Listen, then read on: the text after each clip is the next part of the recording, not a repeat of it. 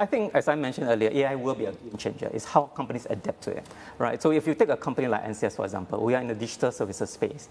We have decided to lead with AI. What do I mean by that? We want to be both AI inside and AI outside.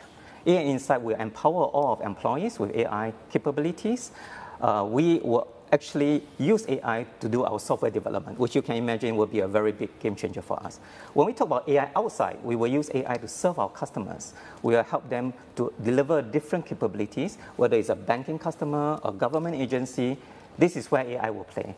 And we intend to groom about 3,000 AI practitioners and doing this together with our partners uh, AI software companies to make this possible. Right. Uh, I think one of the other keys uh, we're looking at with as AI comes for, and better for better or worse, it is coming, and I, it seems that there's no stopping it.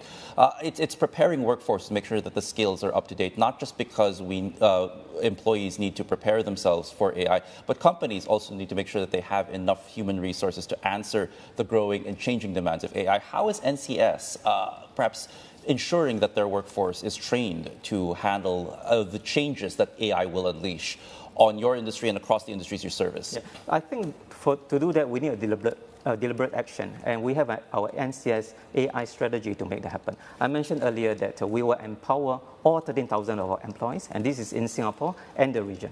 So I think that's a very important first step for any companies uh, to undertake. Right. Uh, you know, when we look at uh, AI's data centers, uh, there's a growing demand for that. But some actually point out that with Southeast Asia's big data center demand, AI demand, this also comes at a huge power and resources cost. you have not just electricity, but but some actually pointed out that you also need to invest in water for cooling systems as well.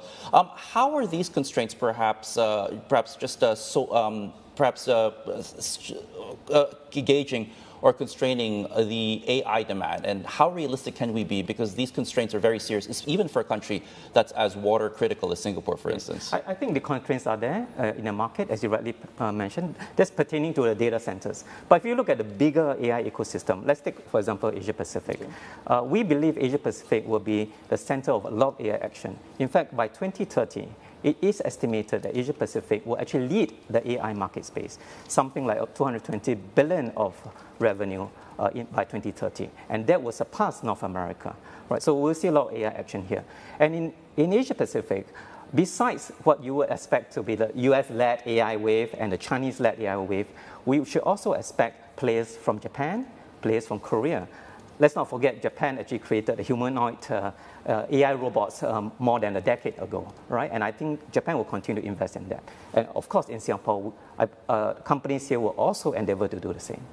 I see. Uh, and, and, when you take a look at uh, things in, in AI, uh, where, what do you think are the keys for Southeast Asia to stay ahead of this AI wave? Because you're talking about US-led AI disruption, Chinese-led AI disruption. How do, how do we ensure that Southeast Asia, as a group at least, stays ahead of the pack at least. Yeah, I think Southeast Asia, obviously, there are many governments and countries in this part of the world. Uh, you know, many of the governments here have already indicated they will invest in the AI technology, and Southeast Asia will actually be the beneficiary with all these AI technologies that's coming to this part of the world uh, because they are open, and I think uh, will be the playground for many of these AI applications to emerge.